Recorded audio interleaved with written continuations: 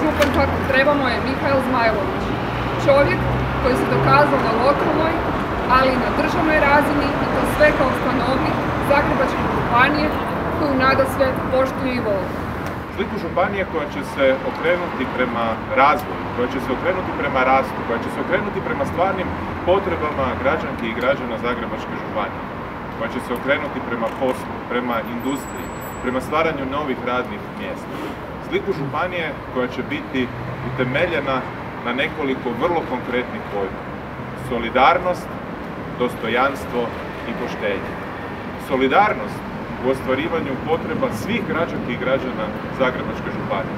Dostojanstvo na način da se svim građankama i građanima Zagrebačke županije osiguraju uvjeti za dostojan posao i dostojan život kojeg će moći plaćati iz svog posla i svojeg primitka. Čovjek sa iskustvom od grada do nacionalnog nivoa. Čovjek koji doista zna koji su problemi Zagrebačke županije. Čovjek koji ih razumije, čovjek čija su vrata otvorena građankama i građanima.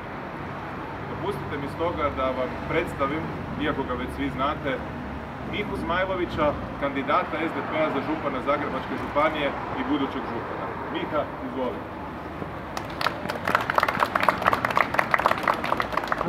Zato se nalazimo pred jednim novim vremenom. Nalazimo se u trenutku kada je došlo vrijeme za check-out iz tog hotela.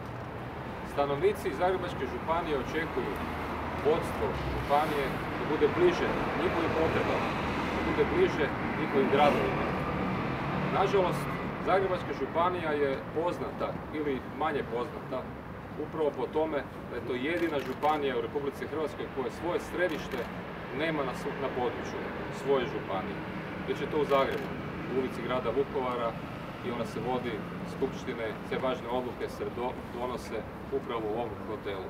I to je ono što želimo mijenjati.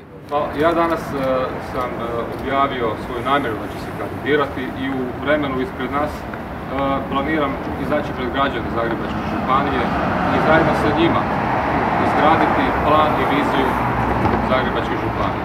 Ono sigurno što na čemu ćemo raditi to je povećanje kvalitete zdravstvene usluge. To je ono što danas građanima najviše nedostaje. Sigurnost, zdravlje. nažalost, građani Zagrebačke županije nisu ni svjesni da je upravo ta Zagrebačka županija osnivač domova zdravlja, osnovnih i srednjih škola, svega onoga što utječe na kvalitetu života. I to je ogroman prostor u kojem vidim da možemo stvariti viziju i da možemo napraviti ogroman iskorak. Jer nakon 20 godina vođenja županije koja je bezidena, troma i usporena, ogroman je prostor za napredak i upravo u tom smjeru želim ići i ponuditi viziju i rješenja, konkretne rješenja problema. Prednost? Osmijeh.